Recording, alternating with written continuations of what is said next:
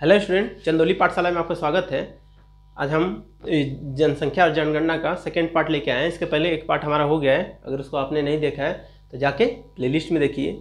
और एक एक टॉपिक मैं बहुत अच्छे से कंप्लीट करता जा रहा हूँ। इसको फॉलो करिए, एक अच्छा सा प्रॉपर नोट्स बनाइए।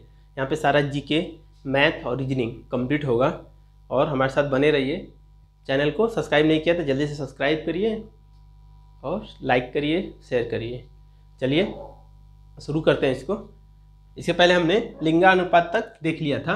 तो अभी क्या है? सर्वाधिक लिंगानुपात वाला राज्य कौन सा है? केरल। उसका लिंगानुपात कितना है? दस सौ चौरासी।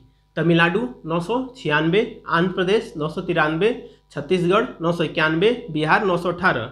और न्यूनतम लिंगापुत, लिंगानुपात वाला राज्य कौन सा है? हरियाणा।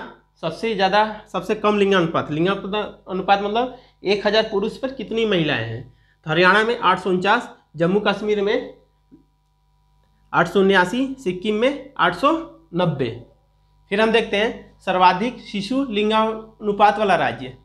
मतलब किस राज्य में सबसे ज़्यादा शिशु हैं? तो अरुणाचल प्रदेश में नौ सौ बहत्तर, मिजोरम में नौ सौ सत्तर, मेघालय में नौ सौ सत्तर। मिजोरम और मेघालय का लगभग बराबर है। न्यूनतम शिशु लिंगानुपात वाला राज्य सबसे कम कहाँ है? हरियाणा में आठ सौ चौंतीस, पंजाब में आठ सौ छियालीस, राजस्थान में आठ सौ अट्ठासी। सर्वाधिक दशकीय वृद्धि। सबसे सर्वाधिक दशकीय वृद्धि कहाँ है? मेघालय में सत्ताईस प्रतिशत, अरुणाचल प्रदेश में छब्बीस प्रतिशत और बिहार में पच्चीस दशमलव चार प्रतिशत। इसका स्क्रीनशॉट लीजिए, फिर हम आगे बढ़ते हैं।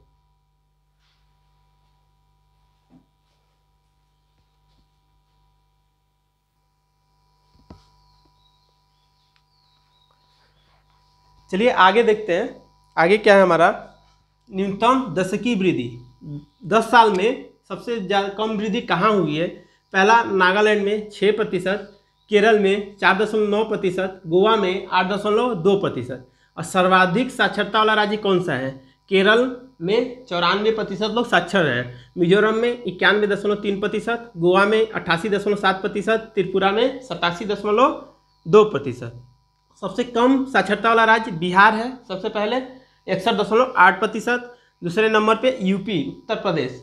पैंसठ दशमलव चार प्रतिशत, तीसरे नंबर पे राजस्थान है, जो छाछठ दशमलव आठ प्रतिशत। ये हमारा साक्षरता का क्रम हो गया। फिर कुछ इंपॉर्टेंट देखते हैं, क्या है? सर्वाधिक नगरीय जनसंख्या कहाँ निवास करती है? गोवा में, जो है बासठ दशमलव दो प्रतिशत। गोवा में जितनी भी जनसंख्या है, उसका बासठ दशमलव दो प्रतिशत नगर में निवास करती है। न्यूनतम नगरीय जनसंख्या अरुणाचल प्रदेश में निवास करती है। अरुणाचल प्रदेश में कितना? दशमलव पाँच प्रतिशत ही जो अरुणाचल प्रदेश की जनसंख्या है, उसका दशमलव पाँच प्रतिशत ही लोग नगर में निवास करते हैं। सर्वाधिक पुरुष तथा महिला साक्षरता वाला राज्य केरल है। सर्वाधिक पुरुष तथा महिला साक्षरता वाला राज्य केरल है। हमने देखा भी था प्रतिशत किसका सबसे ज़्यादा? केरल का। तो ऑब्वियसली पुरुष तथा महिला सबसे ज़्यादा वहाँ शिक्षित होंगे। और न्यूनतम किसका था? बिहार का। तो बिहार में सबसे कम साक्षरता रेट है। मतलब पुरुष, महिला सबसे कम साक्षर है। और शहरी क्षेत्र भारत का कुल जनसंख्या का इकतीस दशमलव एक प्रतिशत शहर में निवास करता है और अड़सठ दशमलव नौ प्रतिशत गाँव में निवास करता है। तो ये हमारा जनसंख्या और जनगणना खत्म हो गया। फिर आगे, अगले टॉपिक में अक्षांश और देशांतर शुरू करेंगे हम। और इसको अच्छे से फॉलो करिए। एक एक क्लास को पूरा ज्योग्राफी कंप्लीट होगा। उसके बाद हिस्ट्री हिस्ट्री के बाद पॉलिटी ऐसे करते करते सारा हम जी के टॉपिक कंप्लीट करेंगे। इसका प्रॉपर नोट्स बनाइए। और कंटेंट अच्छा लग रहा है तो इसको शेयर करिए। सब्सक्राइब नहीं किया तो सब्सक्राइब करिए। चलिए नेक्स्ट क्लास में मिलते हैं। जय हिंद।